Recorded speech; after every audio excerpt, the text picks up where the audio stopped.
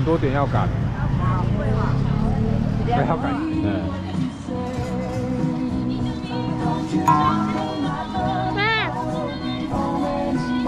你怎么你想睡觉了？对，其实我们都有点想睡。高福乐关机。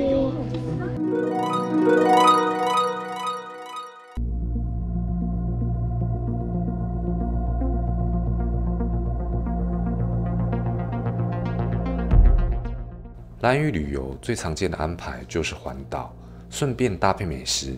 有人是机车环岛，也有人是想要挑战徒步环岛。方向上可以先踩顺时钟，沿途除了可以欣赏蔚蓝的大海外，还有各种奇形怪岩，再加上情人洞跟五孔洞。当然，上面每个景点你都认真打卡拍照，再加上吃喝，可能就要花掉半天了。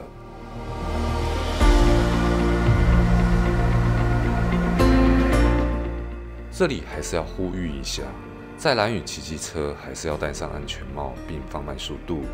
蓝雨卫生所的医疗及人力资源不是那么足够。除了环岛行程外，还有一些很有在地特色的付费行程，例如参观地下屋、夜观角鸮、夜观草间带、浮潜、SUP 等等。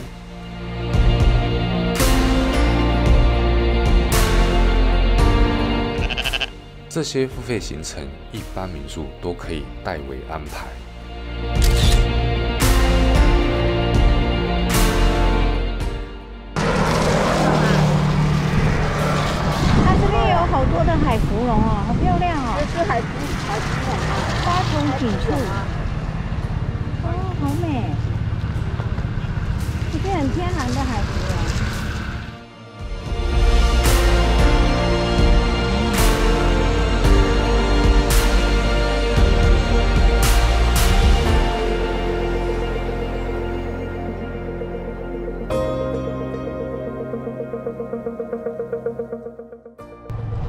go。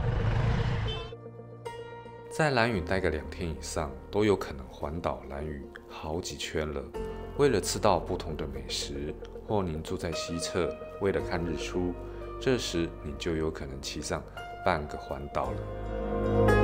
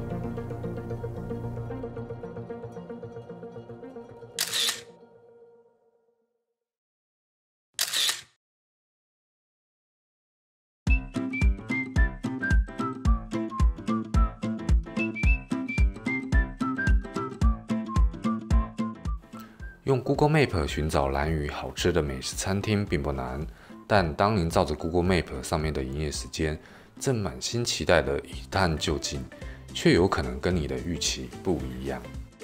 毕竟蓝屿物资有限，可能提早就卖完，所以变成吃不到，或者老板今日突然有事，索性就不营业了。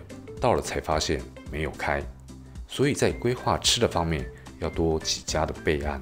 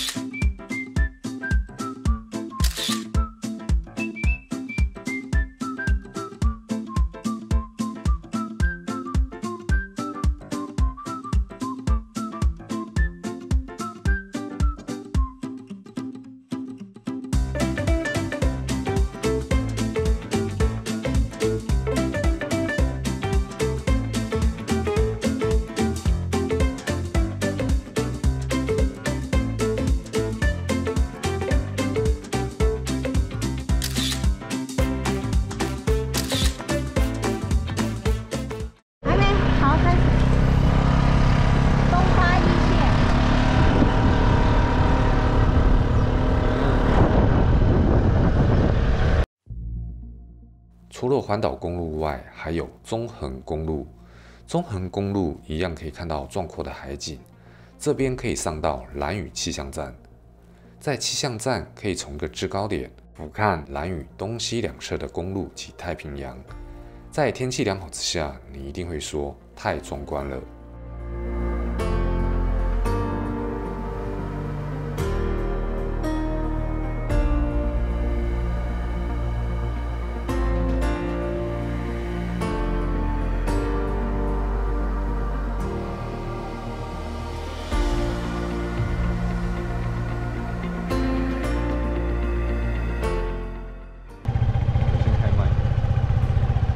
个地下屋，你看到？这是这边野营部落。好，我们停一下。哦，看到制高点的，哪里？那边那边那边，那个就是哦，我一下车都腿都酸了。地下屋。没有看到，哎，地下屋哎那，个那个就是啊，地下屋在那里。那个野营部落。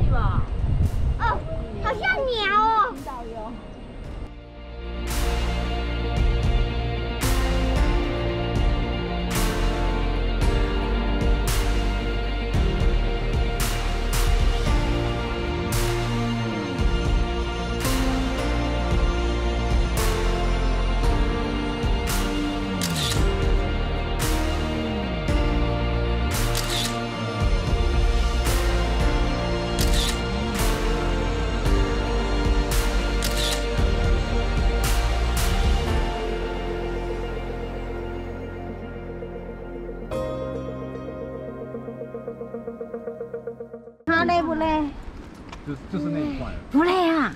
他才会那个。Hello，今天我们要来看的就是这边。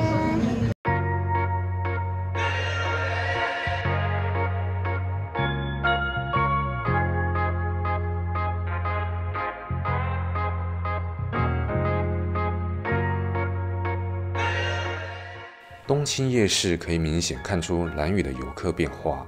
二零一一年那时夜市才刚成立满一年，跟现在相比，变得非常的热闹，还多了间小七。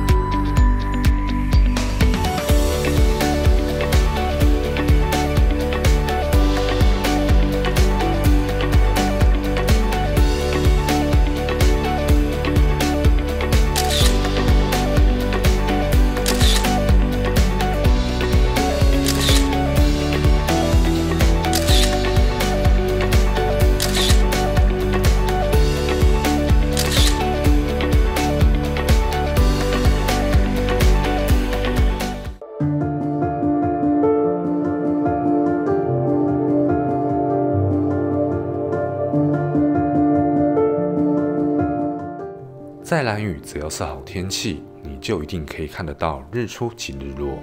但有一个东西却不一定看得到，那就是月光海。如果有碰到，别忘记把它拍下来。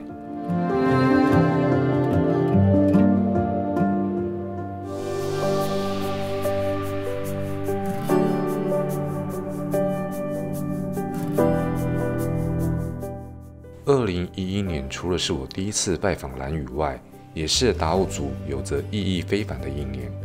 那年有东青部落打造的百年最大平板舟 “Simagawan” 拜访号，从兰屿开元港出发，横渡黑潮，花了十八天，最后到达了淡水河。所以你在东青湾体验平板舟上面的教练，很有可能就是当年的勇士哦。目前这艘最大的平板舟放在屏东的台湾原住民文化园区。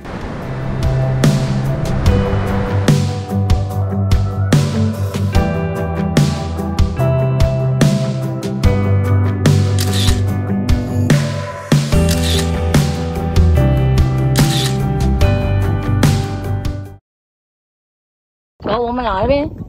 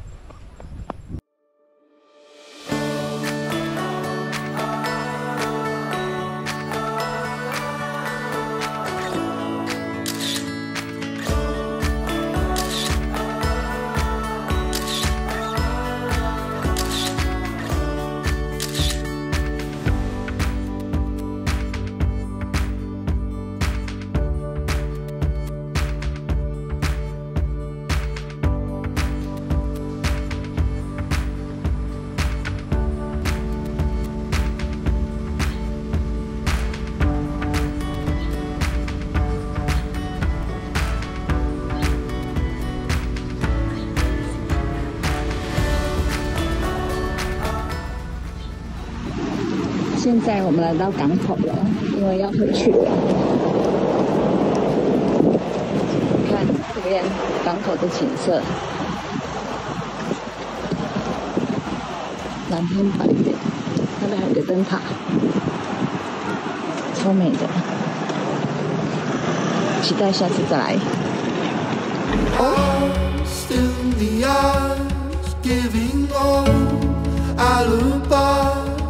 breaking bones, telling lies, letting go.